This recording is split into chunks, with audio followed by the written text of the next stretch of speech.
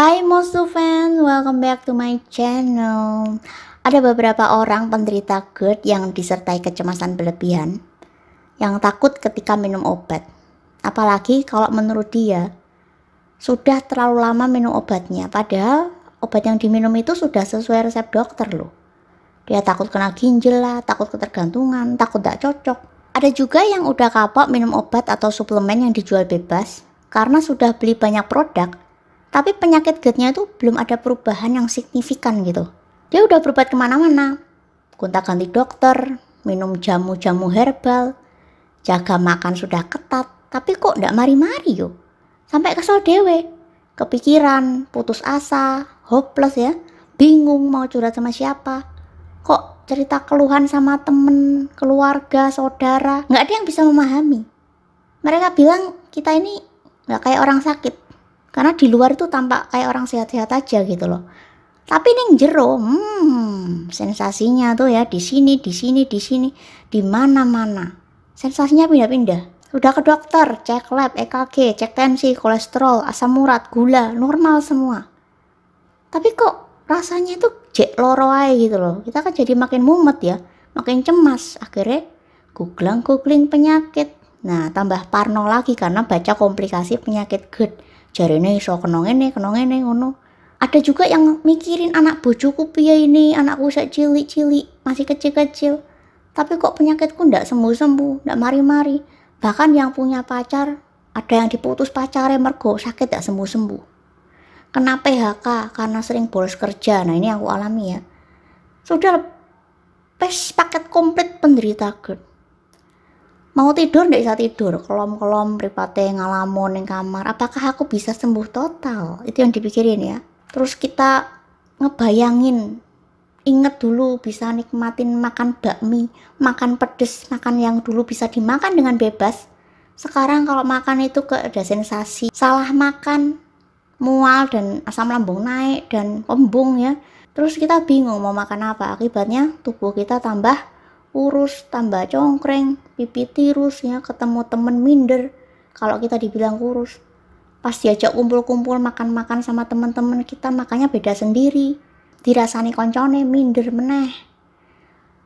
Terus diajak jalan-jalan ke mall badannya nggak kuat lemes takut pingsan mual. Sangune yang tas isine minyak kayu putih karo air mineral. Nah aku dulu bawa kresek ke mana-mana karena takut nek muntah di jalannya yang namanya sakit neng dinggone ku ra enak kabeh. Sing biasanya dulu hobinya traveling ya hiking naik gunung bareng kena get siati jadi wegah lungo-lungo wis ndek main yang ngomah sing penting aman. Zona nyamanku adalah di rumah. Tapi ada juga yang takut sendirian di rumah. Takut mandi, takut pingsan di kamar mandi. Nek ora konangan piye ngerti-ngerti mlebu media ditemukan bla bla bla. Wah ndak tak terus kayak ndak parno nanti ya kalau kita kalau kita sakitnya panu atau batuk, flu gitu, obatnya gampang. Karena tuh kok noneng apotek beres. Tapi kalau sakitnya tuh ndak ketok kon jopo. Ndak kelihatan. Secara pemeriksaan medis itu dikatakan enggak sakit, ndak ada yang bermasalah, semuanya normal. Ya paling cuma asam lambung, kadang dokter ngomong gitu. Orang kira kita ini kan mengada-ngada. Itu yang bisa nyembuhin ya Pak diri sendiri.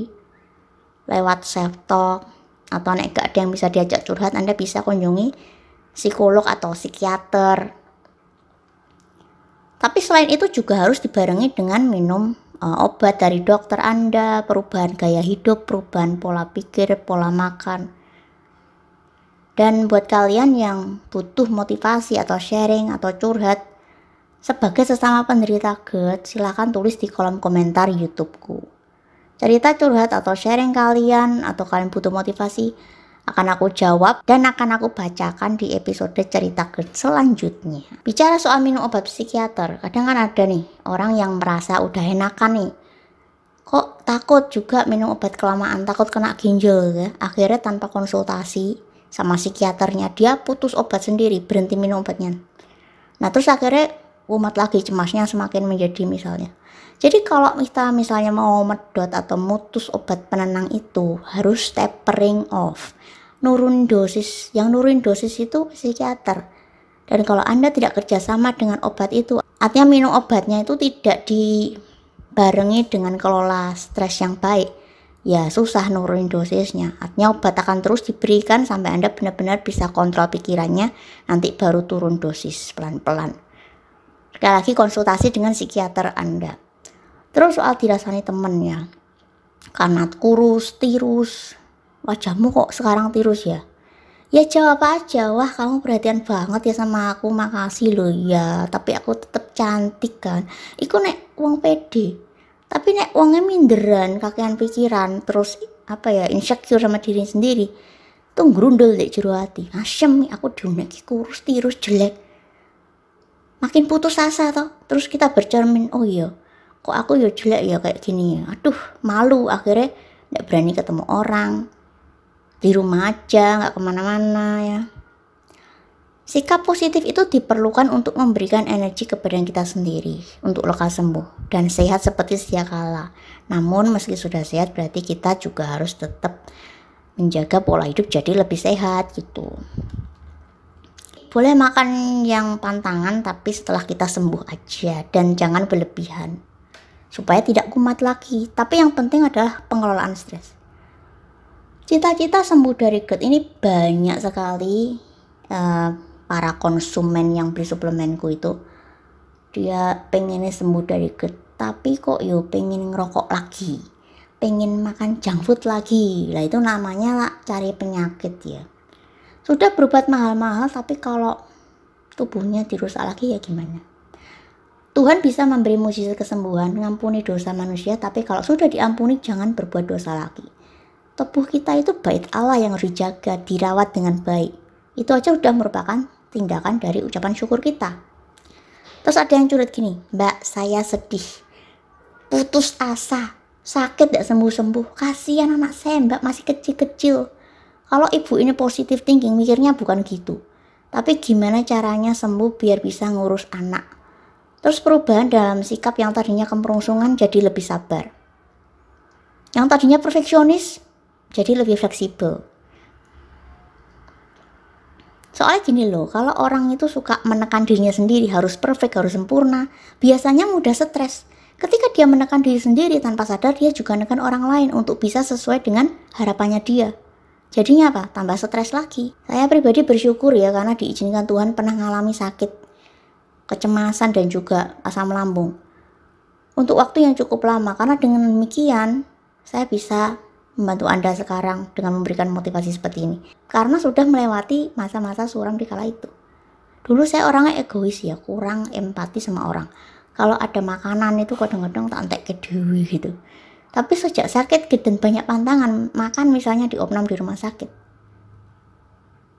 Dan dikasih misalnya ada roti dari pengunjung ya. Roti ini tuh tak bagi-bagi ke yang jaga pasien di sekelilingku ya. Jadi kalau pas banyak yang visitasi, bawa roti, kue, Nah aku pas keluar rumah sakit yang bejo ya tetangga pasien di kamarku. Eh, untuk pembagian warisan roti. Nah yang tak pikir-pikir sakit GERD itu ternyata ada hikmahnya juga. Jadi lu mau berbagi makanan. Oke, okay, ya itu aja sih uh, ceritaku.